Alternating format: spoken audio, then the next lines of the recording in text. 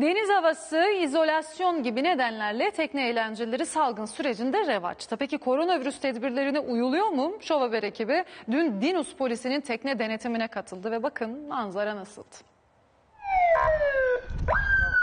Olumsuz e, mevki nere mevkisini öğrenelim. Şu anda deniz polisine bir ihbar daha geldi. Polisi fark ettiler iniyorlar galiba. Kurallara uyuluyor mu teknede? Kesinlikle. Deniz polisi koronavirüs denetimine çıktı. Tekne ve yatlar böyle basıldı.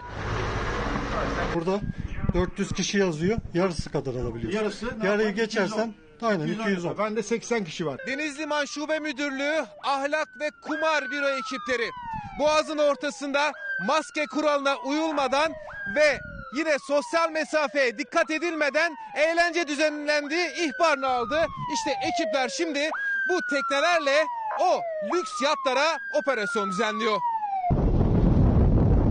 Ee, Anlaşıldı intikal ediyoruz. Şimdi o partinin düzenlendiği tekne doğru ilerliyoruz. Teknelerde fazla yolcu olup olmadığı kontrol edildi. Sosyal mesafe ve maske denetimi yapıldı. Evet şu anda deniz polisi Haliç'te iki tekneye doğru yanaşıyor. Dışarıdan gördüğümüz kadarıyla kalabalık bir tekne. Normalde teknenin kapasitesinin yarısı kadar olması lazım Covid döneminde. Görebildiğimiz kadarıyla herkesin maskesi var. Kurallara uyuyor musun? Uyuyoruz. Ee, elimizden geldiği kadar.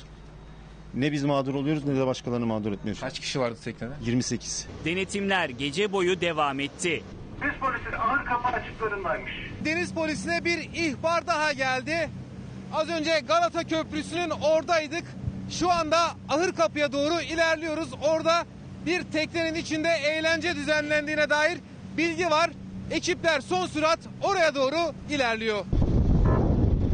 Şu an tekne evraklarına bakıyoruz. Ee, yeterli. Şu an için bir şey yok, sıkıntı yok. Biz sosyal mesafeye dikkat ediyoruz. Özellikle önlemlerimizi aldık. Maskemiz var. Polis ekipleri sirenlerini çaldı ve tekneye doğru yanaşıyor. Alt kat tamamen boş, üst kat ana baba günü adeta. Gece yarısına kadar 13 teknede yapılan denetimlerde kurallara uyulduğu görüldü. Sosyal mesafe kurallarına dikkat ediyoruz. Sürekli ikaz ediyoruz zaten. Şu anda 15 Temmuz Şehitler Köprüsü'nün yaklaşık 300 metre ilerisindeyiz. İşte deniz polisine bu yat takıldı. Saat şu anda 12'yi çeyrek geçiyor. Yani normal şartlar altında gece 12'de bütün etkinlikler hem karada hem denizde bitmesi lazım. Denetime takılan o yata para cezası kesildi.